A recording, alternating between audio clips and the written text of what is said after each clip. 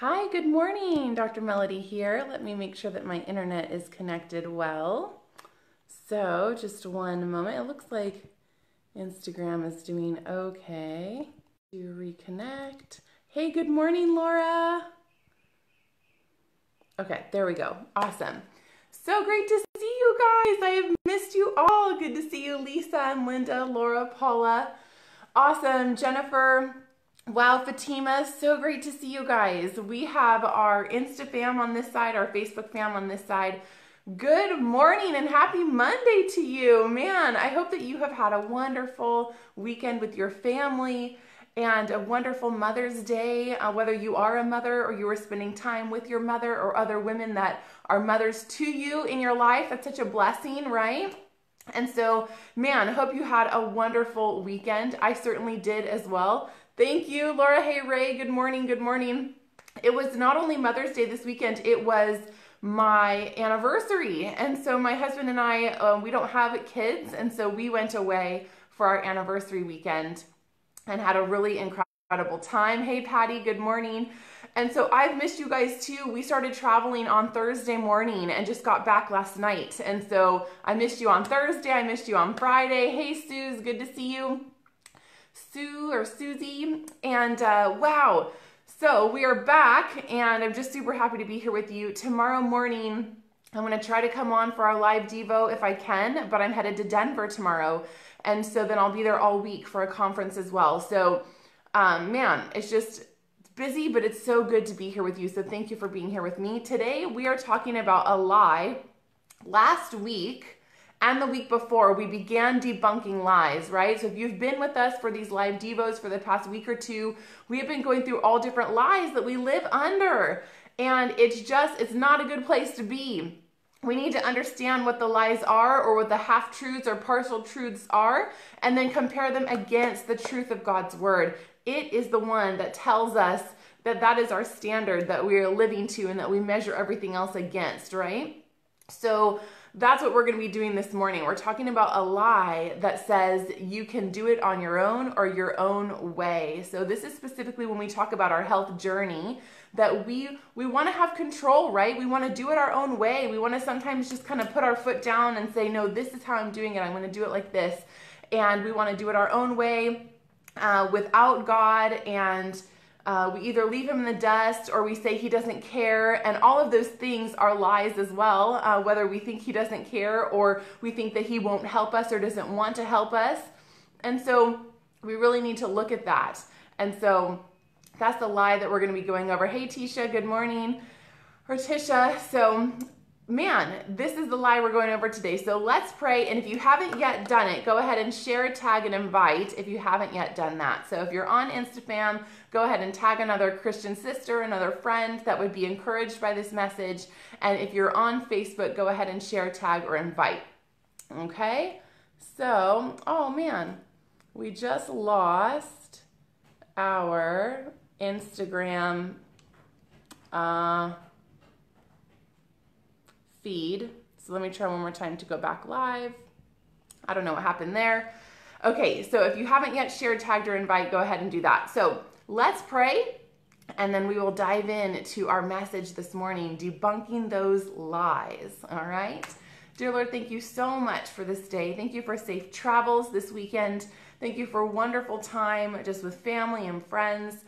Thank you that we are all surrounded by so many people that play different roles in our life and that we had a weekend to celebrate mothers and motherhood and those that have maybe aren't our biological mothers, but they have impacted our life, that we get to just celebrate those special people in our lives. And we get to remember those that are not here with us anymore. Thank you so much, God, for family, for community, that we don't go through this life alone and that you do not leave us. We thank you so much, God, that you do not leave us, that you want us to turn to you and to give um, our burdens and our cares and our desires and our, our dreams and goals and aspirations to give them to you because your word says that you will then guide us, you will direct us. Man, we want you to be the leader of all the different things in our life. Forgive us, God, when we put you by the wayside or when we think we can do it better than you. We ask, Holy Spirit, that you speak through me this morning, that you speak right to our hearts with exactly what we need to hear. We ask all these things in Jesus' name. Amen. Amen. Awesome. Awesome. Awesome. Hey, thank you, ladies, for coming back. And uh, the ones, oops, the ones that uh, that I lost originally on my feed. There we are. That I lost on my feed on Instagram. Thanks, ladies, for coming back. So, okay. Have you ever been in this lie? Have you ever been caught in this lie, specifically when it comes to your health? This this can apply to many different areas of your life, but have you ever been in it in your health where you have thought, I can do it my own way. I know what I want to do. I know how I want to do it. So I am just going to do it on my own. Have you ever done that? And if so, what was your experience? Did it work out the way you wanted? So, have you ever been in that lie before? Have you ever done that before that says, I can do it on my own, I can do it my own way, and we really kind of put God by the wayside? Is anybody brave enough, willing to say? I know that I certainly have. Have you ever done that? And if so, what was your experience? What was your experience? So many people uh, don't think that, uh, thank you, Linda, for tagging friends. So many people don't think that God cares about their health, that God cares about their health journey and their struggles, their struggles specifically with their body or with food many times people don't think that God really cares about that because that doesn't necessarily, that's not like a salvation issue, right? The way we view our body and the way we treat ourselves. Good, thank you. Nikki, Patty, raising their hands. So sometimes people think that God doesn't care about this part of our life because it's not a salvation issue. He only really cares, this is what we think. He only really cares about um, our heart and have we accepted Jesus and are we going to go to heaven and has he forgiven our sins and all of this. Oftentimes, that's the only category that people put God in. But let me tell you, he cares about everything that you care about. He cares about everything that you care about, everything that's important to you. He cares about the fact that whether you view yourself as truly his daughter, as, as God's daughter of the king, as a co heir with Christ. Thank you so much, uh, sir. Let's see. Uh, let me see. When I tried to quit smoking, I failed each time. Thank you so much for sharing. I surrendered over a year ago and he did it. That's awesome. That's a great example. Thank you for sharing that. We can try and try and try in our own strength, guys. And oftentimes it's going to be more difficult than it needed to be. Or we think that we're alone in the struggle because we think that God, who's supposed to care about us, who we've heard loves us, but we think He doesn't really care about that part of our lives. Hey, Faye, good morning. But I will tell you, He cares about, dang it, I don't know how that keeps happening. Sorry, Instafam. I keep switching my camera. He cares about everything that you care about. He looks at your heart and what grieves your heart, he, he mourns too.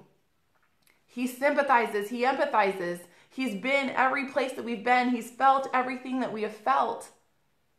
And so when we're in this struggle and we feel like we're alone, he wants us to know that we're not alone. And we're, when we're in the struggle and we're, we're just trying to grit our teeth and just do it on our own in our own strength, he wants to give us the strength to do it, but oftentimes we don't even ask for it because we don't think He cares.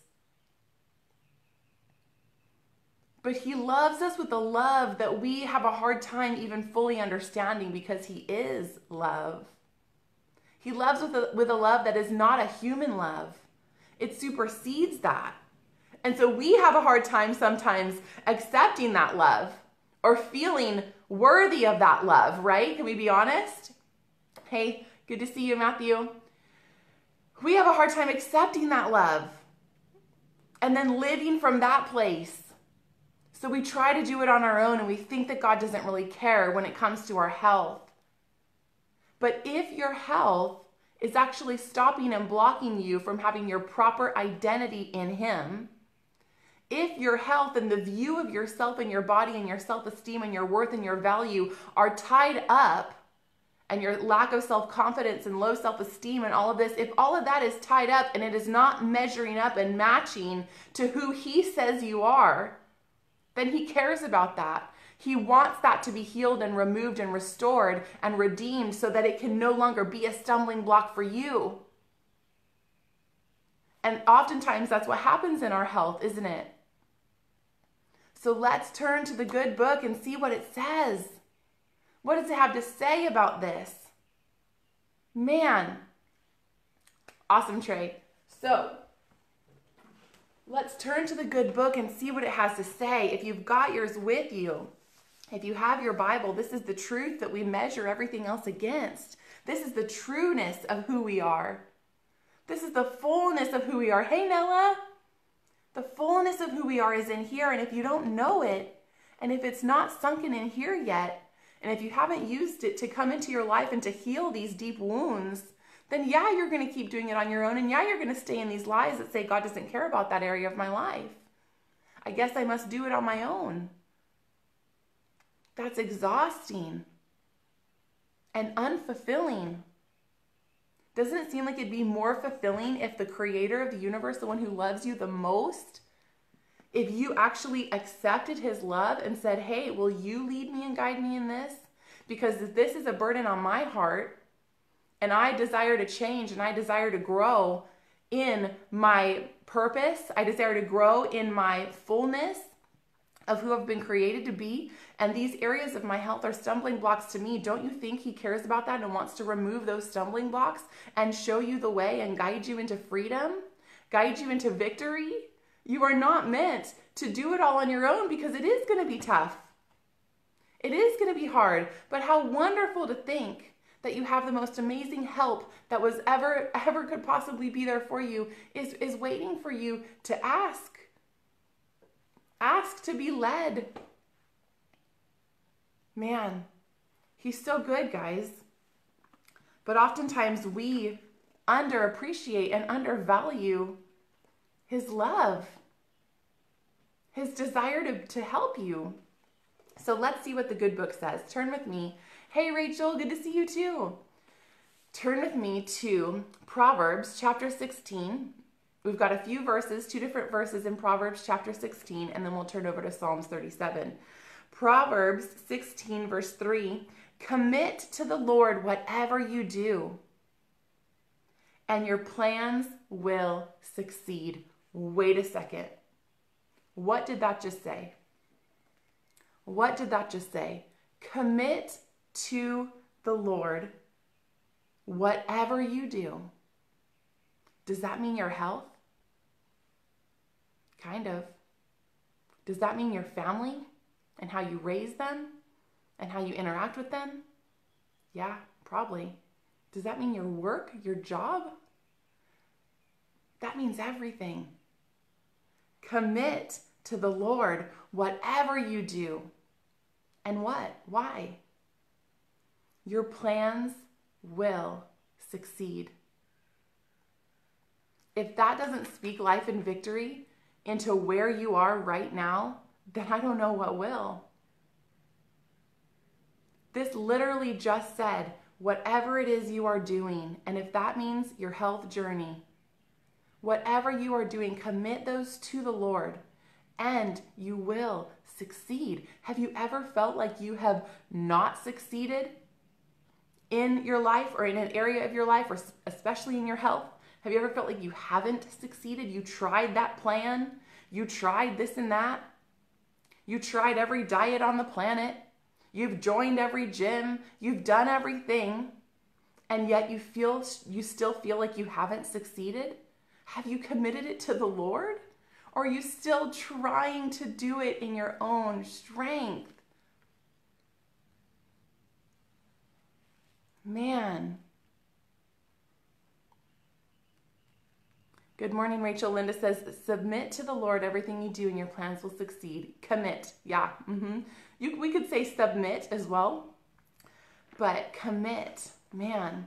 Matthew says, why is it sometimes I feel like I do things alone even when I ask for his guidance or help? But God shows on his time, yeah, that's a part of the trusting part. That's a part of your growing. When you do commit it to the Lord, and then you still feel like sometimes I feel alone, well, ask the Holy Spirit, where may I be blocking hearing from you? Where may I be blocking? Hey, is that Amber? Where may I be blocking hearing from the Holy Spirit? Where may I be blocking um, not listening and following His guidance? Where may I still not fully hear His voice yet and His guidance? Is there anything within me, right? That goes back to David saying, Search my heart, O God. Search me. Find if there is any offensive way within me. And so we need to ask God too is there anything that I may be doing that is blocking me from hearing Him? Or in those moments where you feel like He is far away and that you do still feel alone, even when you feel like you've committed it to Him, then this could also be like a testing. Will you stay faithful to Him? Will you stay seeking after Him even if you don't feel Him?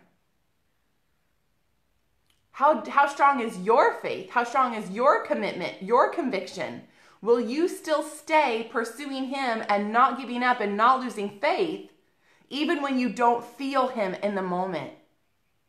Sometimes that is a testing of your faith, and sometimes that is an area where you will need to grow in your spiritual maturity and in your faith and in your trust, right? when you don't see the things that you're hoping to see yet, when you don't feel the presence. We don't live off of our feelings all the time. We shouldn't.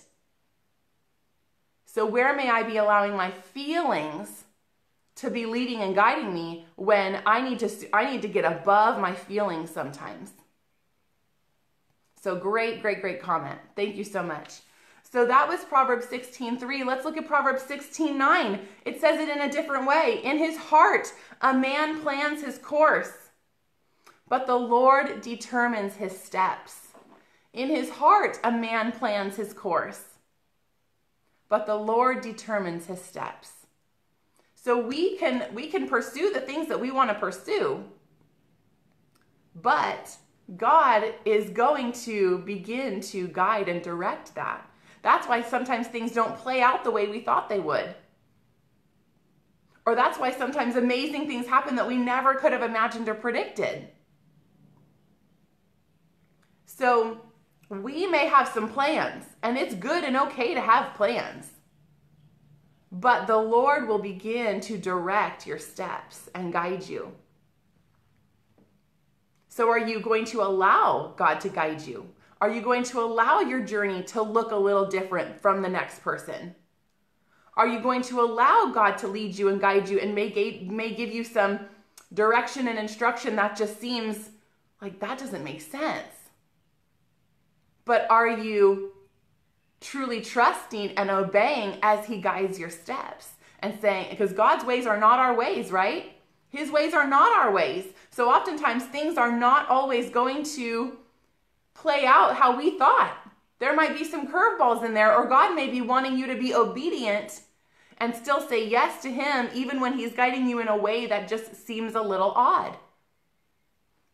But will you submit to Him? Will you still obey as He guides and directs your steps? Will you still be patient when He hasn't yet revealed to you the next step?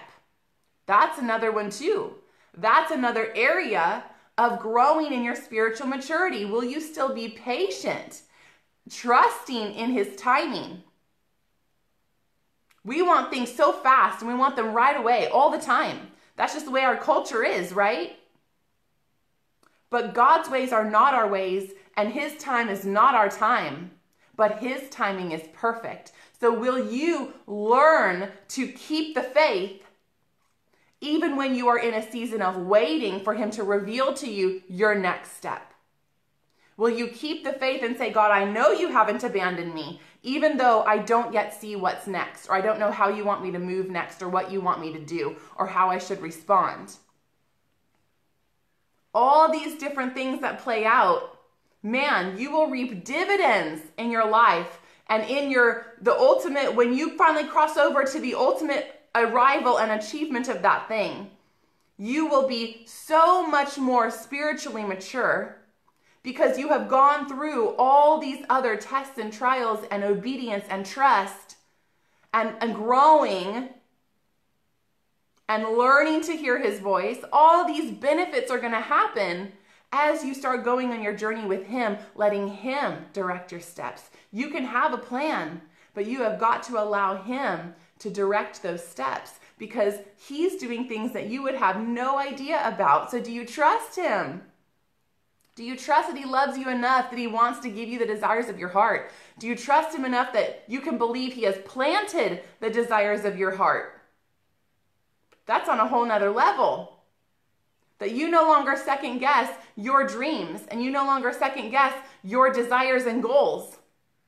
That you can say, God, you have planted those in my heart, so you lead me and guide me into their fulfillment. And that fully applies to your health, but applies to any other area of your life. Wow.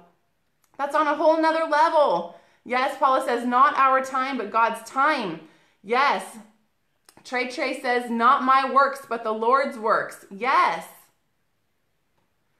Right, Matthew says, is that why they say if you want to hear God laugh, tell him your plans? it could be. It could be. So good. Man. So, great encouragement here as to what we should do with this. That we should no longer be trying to do it in our own strength and in our own way. Someone that you know, that you have access to, someone has a plan for you and wants to lead you and guide you in this way. But you've got to recognize it you've got to submit to it. And you've got to be willing to say, Yeah, God, I trust you. That you do want to see me achieve these things in my life. You do want to see me get to another level of self confidence in my body, of learning my true value and my worth. Because when I make changes with my body, I feel better about myself too. Like there's wonderful things that begin to happen. But if you try to do it on your own strength, you're going to burn out. Man. Matthew says, Why God wants me to be here, wants me here, or why does He want me in this place when I want to be in a better place? You have got to learn to trust in His timing. The better place and the better things and goals that you're envisioning and seeing for yourself you have got to surrender to his timing and, and not doubt that he wants that better thing for you as well. He might actually want something even better than what you are, are thinking of or dreaming of or imagining. But when you start doubting where you are now and you start doubting his love for you and you start doubting that he knows what's best and that his timing for you is best and you get anxious in the waiting and you get um, frustrated and lose hope and yeah, no longer impatient is the word I'm looking for. Impatient in the waiting. Man, you are missing out. You're missing out on, on what He truly wants to lead you and guide you in. So, really check yourself when you're feeling impatient and when you're feeling like He has left you or abandoned you or doesn't want those things for you as well, doesn't want those good things for you. He is a good father who loves to give good gifts to His children. He loves to give good gifts to his children, but he knows what we need when we need it and doesn't give us things that we can't yet handle. We have to trust in his way, in his timing. He knows. He is so wise, above what we could ever know. We think we want these things, right? We think we want to hurry up and achieve that goal in our health. We want to hurry up and achieve that breakthrough or that success level in our business or whatever it happens to be but He knows if we're actually ready for it or not. Because there's going to be a new level of challenges, a new level of testing, a new level of trust that will need to be there for those levels that we say we want now, but He knows if we really if we really can handle it right now or not. And if we don't have it yet, then there's a work that He's still doing within us while He leads us and guides us and takes us to that place. We've got to get to that place where we, we trust that He has our best interest in mind and that He has not left us in the trial and in the struggle. Man. The last verse we're turning to is Psalm 37. Psalm 37, verse 5. Psalm 37, verse 5. Again, reiterating the same point. Are we getting this point? Commit your way to the Lord. Trust in Him, and He will do this. So good. He will make your righteousness shine like the dawn, the justice of your cause like the noonday sun. Man, verse 7 Be still before the Lord and wait patiently for him. Do not fret when men succeed in their ways, when they carry out their wicked schemes. Man, refrain from anger, turn from wrath. Do not fret, it leads only to evil. Are you getting this? It starts with commit your way to the Lord, trust in Him, and He will do this. Man. Delight yourself in the Lord, and he will give you the desires of your heart. That's Psalm 37, verse 4.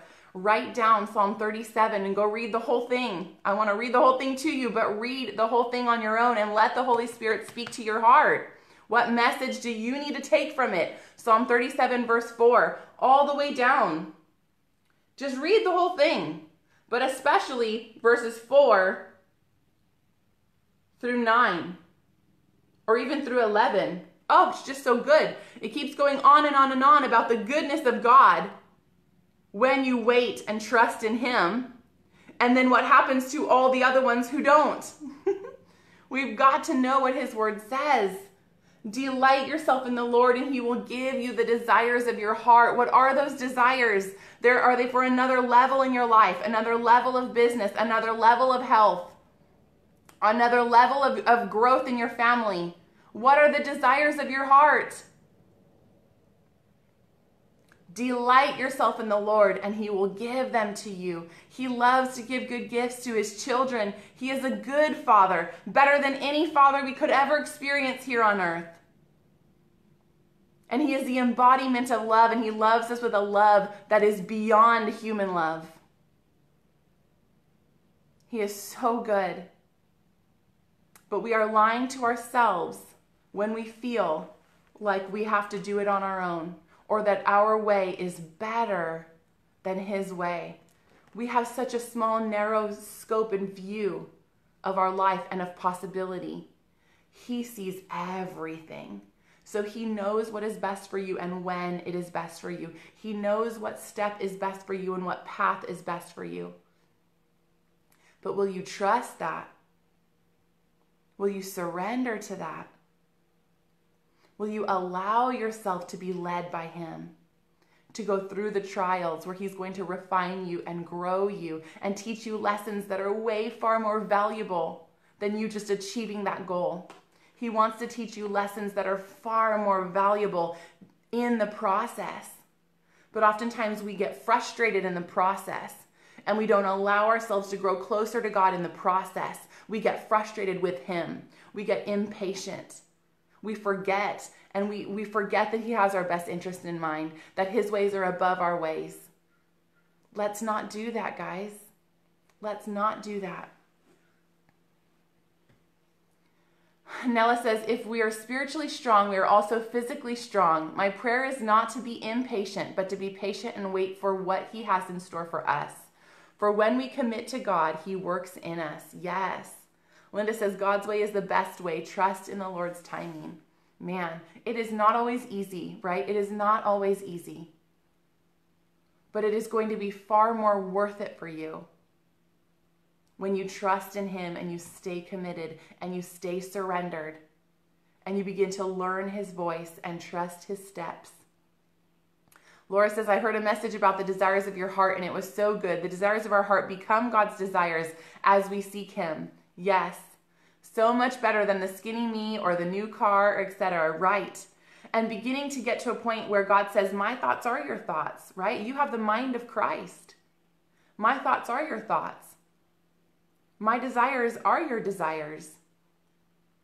As we begin to mold ourselves into the image of Christ by pursuing righteousness and pursuing holy living, as we begin to do that, our mind changes and God plants different desires in our heart, and they're good and they're, they're righteous desires. It is okay to have the desire to want to make changes in your health, to make changes in your physical body. It is okay. Oftentimes we think God doesn't care about that, and that's the lie. That's the lie that then creates a separation and a division between us and Him. It plants seeds of doubt and it makes us feel like we have to do it on our own strength. And that's when the trouble comes because there will always be things that we cannot do in our own strength. So we must commit our plans, all of them, to the Lord. Excuse me, letting Him direct our steps, letting Him direct our path, and growing in spiritual maturity while we go on the journey. Not getting frustrated in the process, not getting impatient in the process, but submitting your anxious heart to Him. Man, so good. Matthew says, I pray every night to God for everything that He gives me, and I pray for those around me and for the next day. It helps me sleep. It's like God is putting me to sleep to not worry, exactly, to not worry about the next day. Yes, that He will look to those who surround me. Absolutely. Absolutely. So good. Thank you so much for being here with me this morning. What a message. Just wanted to encourage your heart today. Encourage your heart that your desires don't feel that you're alone in that. God will, will he'll search your heart. And if your heart is in the end he sees the motivation and the desires of your heart. So he's going to lead and guide you in what you need. So remain faithful, remain patient. You're welcome, Alita. Thank you for being here. Man, I just hope that Holy Spirit spoke to your heart with what you needed to hear in this message. So good. He's so good. Dive into the good book. Spend time with him. Get to know his voice. Get to discern his steps that he wants you to follow. Don't be afraid of the process. Don't be afraid of the trials. Don't be afraid of the journey. He's with you. He's with you. So good. You're so welcome, Linda. You're so welcome. Awesome. Well, I will see you on, uh, let's see, I, this week is going to be interesting because uh, I'm going to Denver for a conference. And so I know for sure Monday, I mean, Wednesday, Thursday, Friday, I will be at the conference. I will do my best.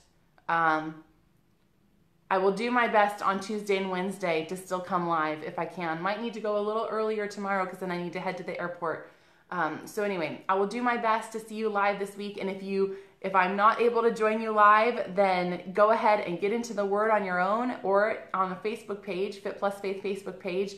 You can go down to our video section, and we have literally hundreds of videos of replays of live devotions that we have done together. There is not a lack of inspiration there available to you but nothing is going to supersede your relationship and your time with God. So, all right, it's my pleasure to be here with you, but we need to make sure that we are spending and not using this as our only input and connection with God, right? That you're prioritizing your own time with Him as well. So, I will do my best to see you tomorrow and Wednesday, but Thursday, Friday, um, I'm pretty sure I'll already be in the conference. So, love you all. Have a great rest of your day. And uh, man, excited to kick off this new week with you. Nella says, Thank you so much for sharing. It's so encouraging to know that. Yep, absolutely. All right, guys, have a great rest of your day. This is Dr. Melody with Fit Plus Faith. See you later. Bye.